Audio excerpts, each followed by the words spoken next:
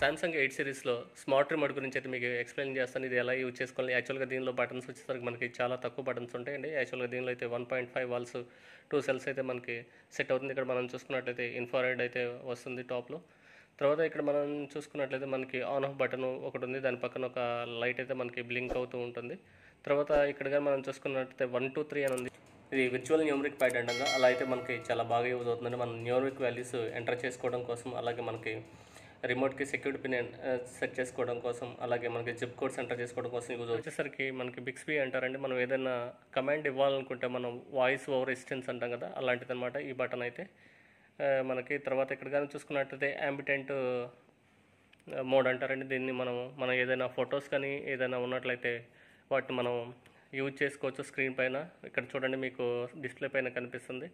యాంబిటెంట్ mode అంటారు. ఇలా frames అయితే మనకి వస్తూ ఉంటాయి. తర్వాత ఇది వచ్చేసరికి మనకి అప్ అండ్ డౌన్ తర్వాత మనకి లెఫ్ట్ రైట్ అలాగే మనం ఏదైనా సెలెక్ట్ చేయాలంటే సెంటర్ బటన్ అయితే పనిచేస్తుంది తర్వాత ఇది మాత్రం బ్యాక్ రావడానికి ఇది ప్లే అండ్ హోల్డ్ బటన్ తర్వాత ఇది మనకి స్మార్ట్ హబ్ అని ఉంటుంది సామ్సంగ్లో ఇది ఒకటి తర్వాత మనకి ఇక్కడ చూసుకున్నట్లయితే volume up and down button అండి. ఇది పైకి ఇలా అన్నాం అనుకోండి వాల్యూమ్ మనకి ఇక్కడ స్క్రీన్ మీద కనిపిస్తుంది చూడండి.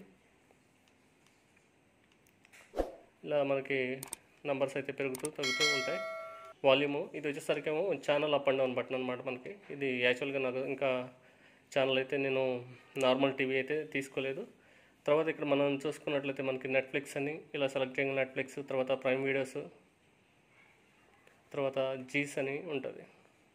ఇలా అయితే మనకి సెలెక్ట్ అయిపోతుంది. ఈ విధంగా ఈ బటన్స్ అయితే యూజ్ అవుతాయి. మనకి నార్మల్గా అయితే చాలా ఉంటాయి మనకి.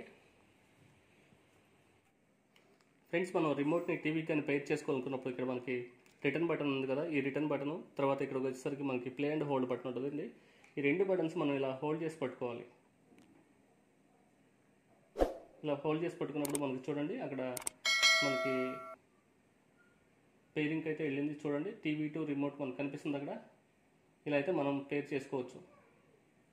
పేరింగ్ కంప్లీట్ అయినా వస్తుంది అక్కడ. చూడండి స్క్రీన్ పైన.